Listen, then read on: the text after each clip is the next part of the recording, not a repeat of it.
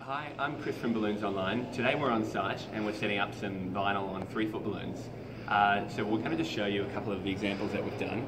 But more importantly, the tip today is how we're applying the vinyl. Just created a little method using the slide and size and um, we'll show you how we do it. So I've got a print here. Um, I was lucky enough to find just recently some clear transfer tape which works really, really well. Uh, the width isn't quite as long as we need for this particular design, but I'll cut off just another little strip. So I'm sure you probably have this part covered, but we'll go through it anyway. So just put some pressure on the transfer tape and come back at 180 degrees, usually at a diagonal, and it just gets the tops of the the lettering.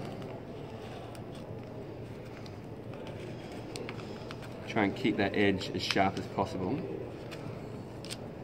Just happen to choose a tricky one for this example.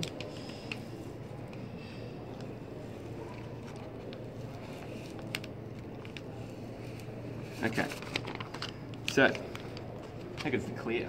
Okay, so what we've done, we'll just try to explain the jig. We've used a slide and size, just with two extra length, length extensions, and I've clipped the helium inflated balloon just down to the ruler. So what it's doing is I can see where the center of the balloon is purely by the point that it touches these vertical uprights. So when I'm aligning the vinyl, I'm looking to the left and looking to the right, and just pulling that up by eye, but it just gives me a guide as something to start from. Start in the middle and push it out from the sides. And you'll notice I'm pushing it up against the back wall, so I intentionally placed it on the wall so there's something for it to hold up to.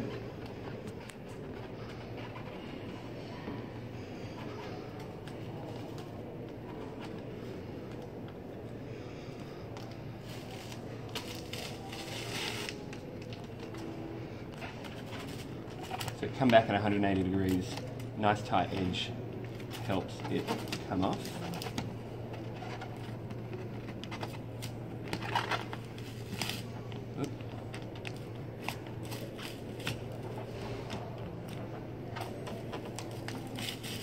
bit tricky with the thin cuts.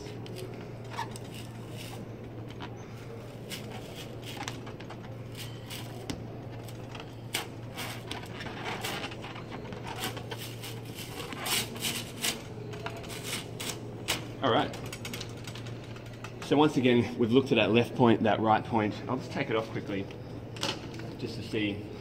And I think it just gives you something really easy to work with.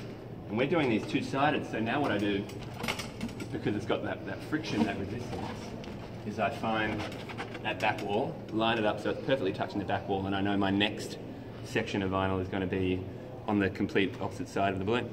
All right, I hope you've enjoyed the tip.